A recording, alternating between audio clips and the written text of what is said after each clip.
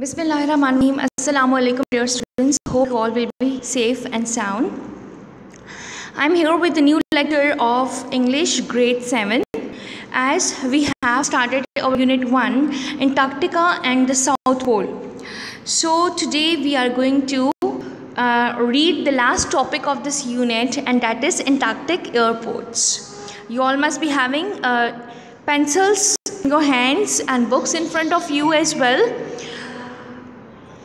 Antarctic airports, like it may be quite surprising for you that a place where there is no human life, what is the need of airports there?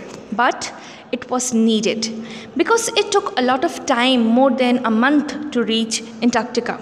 It was very hard for scientists, especially. For their convenience, it was necessary to make airport there. Let's move uh, towards the book now. Open your books, page 4. If you consider it or not, but reality is this that there are few airports in Antarctica. The most recent is Wilkins Runway. The distance between the Wilkins Runway and the seashore is 40 kilometers. Like Wilkins Runway is 40 kilometer away from the coast, from the seashore. Work began on the ice runway in 2005 and it was carried out during summer period.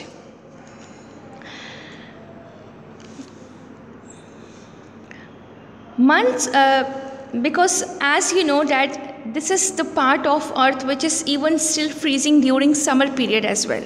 It is the coldest part of the earth. And even in the summer period it is minus 35 centigrade. It is 4 kilometers long. The wilkins runway is 4 kilometers long.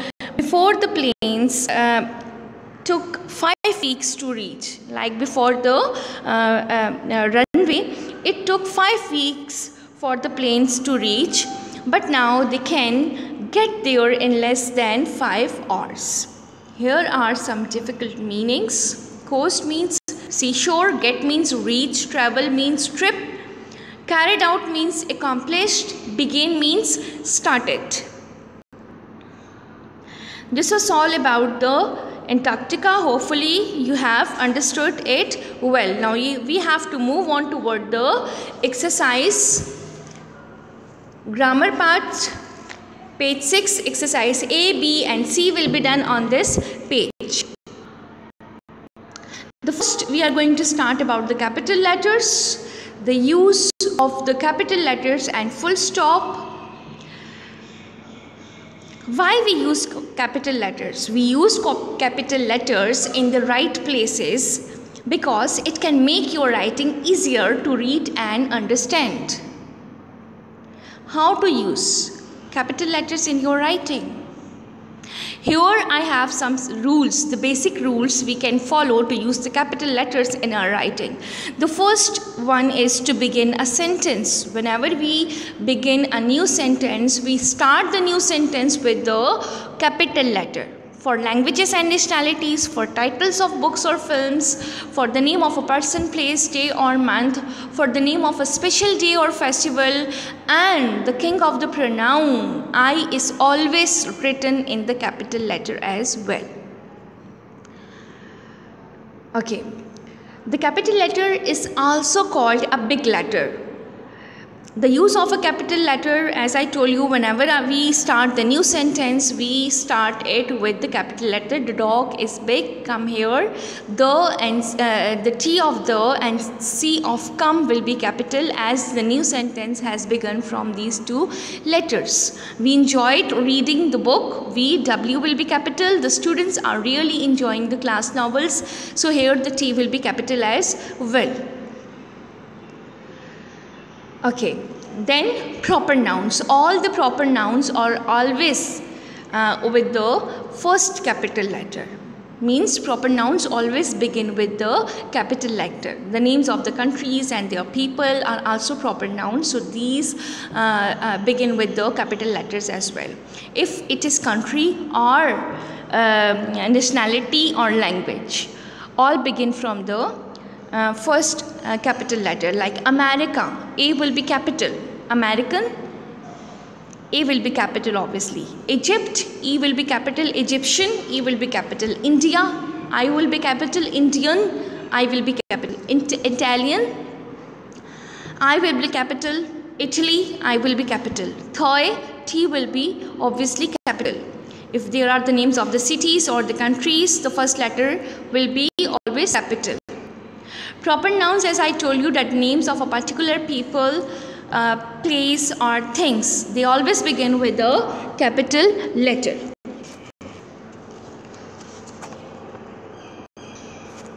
The capital letters, um, the days of the week, months of the year and uh, are proper noun and these always begin with the capital letter as well. The pronoun I is always capitalized. My aunt and I picked up the papers. I is here in the middle of the sentence, but still I will be capital as I told you that wherever we use this pronoun I, it will be written always in the capital form. Okay, then if uh, there are any special day or any festival these will be started from the uh, capital letter as well like Christmas. Uh, C will be capital Holi H will be capital Diwali D will be capital and Eid obviously E will be capital. Okay now about the full stop. Why do we use full stop? A full stop is used at the end of a sentence every time you see a full stop. You must stop there. It is the indication to end a sentence. Now we have to begin the exercise A, page 6. Proofread this paragraph carefully. You must be having pencils in your hands and do the, this exercise side by side on your book. Next year, all the capital letters used in this passage are highlighted with the green color and be careful for putting the punctuation marks as well. Next year, my parents are sending me to a place called the Academy in Paris to study for the year. The Academy in Paris, it's the um, specific name of the Academy. The Academy, so that's why the first letters are capital here. Paris, it's the name of a place, so P will be capital there. And next N will be capital because it's a beginning of a passage, beginning of a sentence for the year full stop and then i wherever the i is used we write that in the capital form. I will go to school there and stay in a hostel so comma i am going to improve my french. French is a language so f will be capital here full stop. I don't know i will be capital about there yet comma. But i am hoping to make a lot of new friends full stop. My cousin jan went last year and she loved every minute of it full stop we visited her on Independence Day. I and D will be capital here as it is a special day. And it seemed like a really nice place. Full stop. My parents have promised to visit me at the weekend and we will be able to go out for lunch. Full stop. I am both nervous and excited about my new adventure. Full stop. Now move on toward the exercise B you are supposed to do this exercise on the book as well. Rewrite these sentences using capital letters and full stops. Okay. You can uh, do this exercise on the book uh, with the help of the sticky notes as well. And other than that you can uh, underline or highlight the letters and write on the top of them the capital letters. The President of the United States of America is a, is a very powerful person. The President, the T and P will be capital because President has been specified here. Here they are talking about the President of the United States of America. USA will be obviously capital as well. Number two, when our houses flooded last winter, we had to call the Insurance Cor Corporation of England. ICE will be capital here. There is a flight from Dubai to London every Monday, Wednesday and Friday. Dubai, D, London, L will be capital. Similarly, the days of the week, Monday, Wednesday and Friday, uh, uh, M, W and F will be capital as well. Number 4, when I am older, I hope to study in University College Cork. UCC will be capital and I is obviously capital wherever that is used in a sentence. W is capital because it is the beginning letter of the sentence. Number 5. Many shops in Pakistan, in the Pakistan don't open on Sundays. Okay. M is capital because it's the beginning of the sentence. Then Pakistan, P will be capital and Sundays S will be capital. Number 6 is every September the hockey final takes place in Royal Park. So here every uh, E is capital because it is the first letter. Then September S will be capital. The hockey final T H F will be capital and then Royal Park R and P will be capital. Here are very interesting and uh, easy way uh, ways to learn the use of the capital letters. If you learn the word mints and if you learn the word chips, it will help you to indicate that where you have to use the capital letter. Mint M is indicating the month, day and holiday. I is for the pronoun I. N is for the name of the place, uh, people, etc. things. Okay, T indicates the title of the books and the movies, etc. And S start of a sentence. C calendar words, days of the weeks, months of the years. H for holidays, Christmas, Earth Day, Easter, I, I by itself like uh, I is for the pronoun.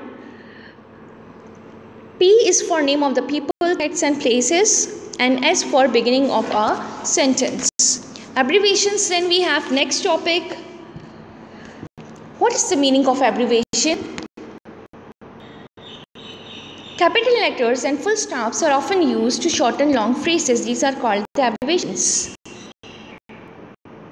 Abbreviations are shortened forms of words or phrase.